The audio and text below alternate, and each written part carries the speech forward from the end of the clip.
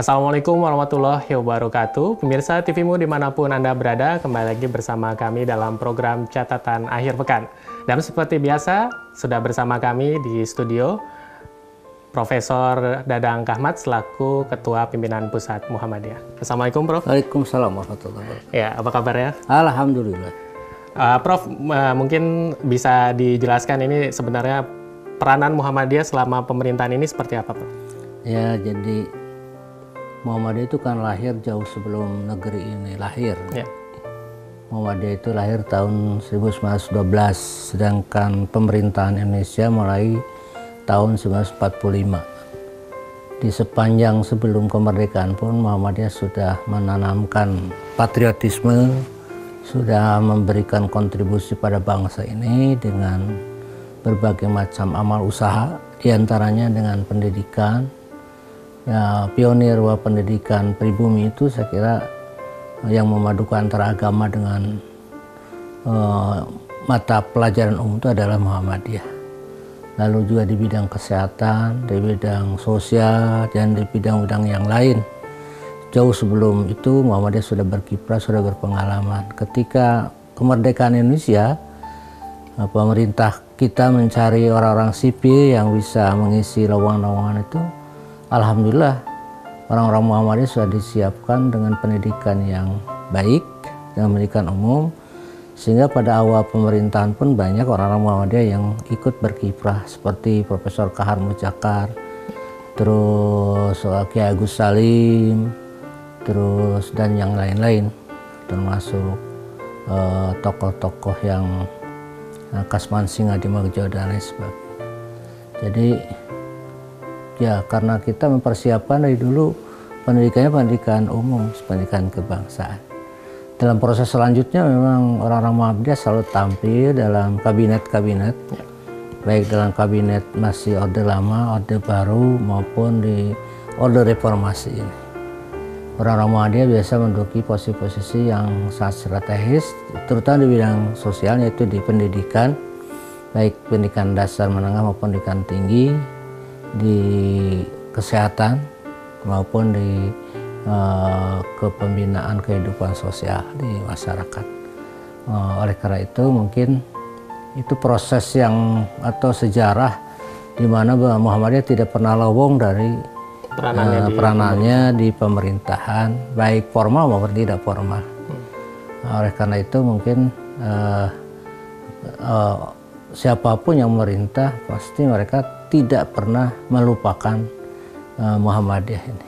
Itu mungkin Nah mungkin dari sejarahnya memang apakah tujuan pendirian Muhammadiyah oleh pendirinya itu Kiai Jatman Alan memang fokus pada bidang pendidikan dan sosial saja apa seperti apa? Ya jadi dulu kan sebetulnya Muhammadiyah lahir itu dari keprihatinan melihat bangsa ini. Hmm.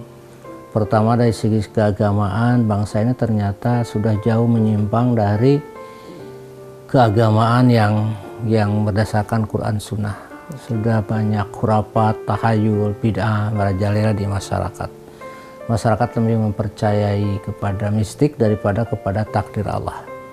Maka Muhammadiyah ingin mengembalikan kembali dari eh, tahayul, khurafat, bid'ah itu kepada jalan yang sesuai dengan Quran Sunnah Nabi Muhammad SAW. Yang kedua juga eh, Kiai Jamana melihat masyarakat kita itu sangat bodoh, tidak berpendidikan.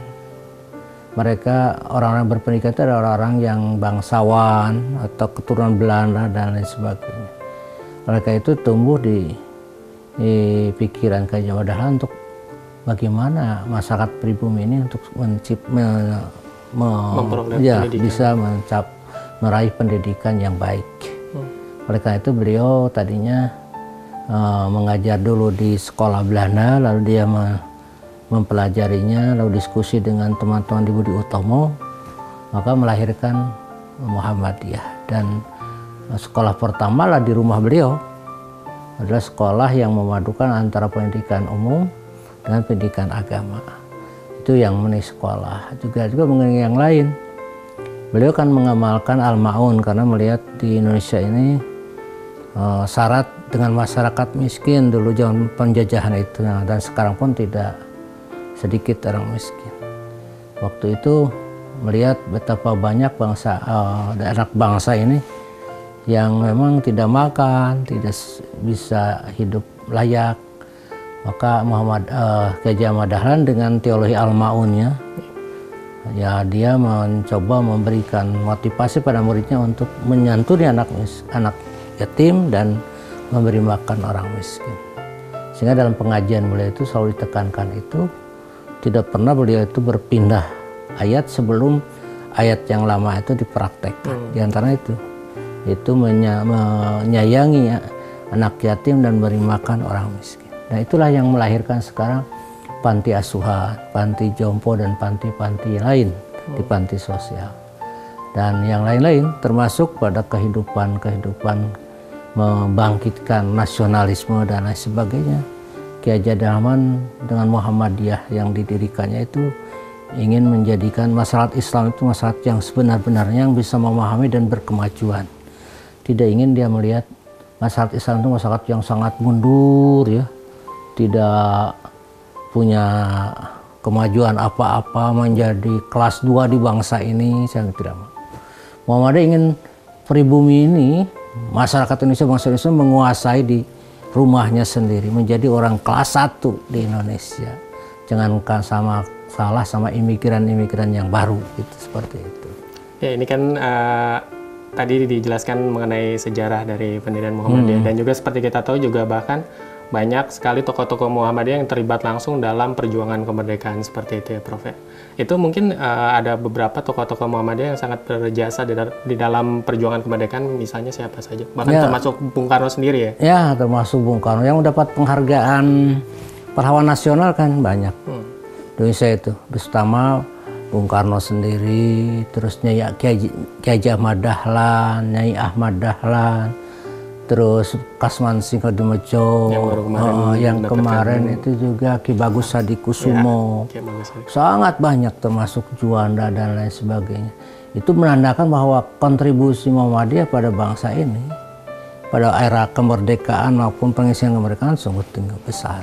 Ya. Oleh karena itu saya kira kita patut berbanggalah karena Muhammadiyah bukan menjadi uh, penghalang kemarin itu justru menjadi pelopor dan apa tokoh-tokoh yang melahirkan bangsa ini. Ya baik Prof. Nah Pemirsa TVmu tadi kita sudah membicarakan bagaimana sejarah dari pendirian Muhammadiyah dan juga peranan. Tapi jangan ke mana-mana terlebih dahulu karena nanti di segmen selanjutnya kita akan lebih menggali lebih dalam lagi mengenai apa saja sebenarnya peranan dari Muhammadiyah di dalam pemerintahan bahkan sejak berdirinya bangsa Indonesia ini. Kita akan segera kembali setelah jeda berikut.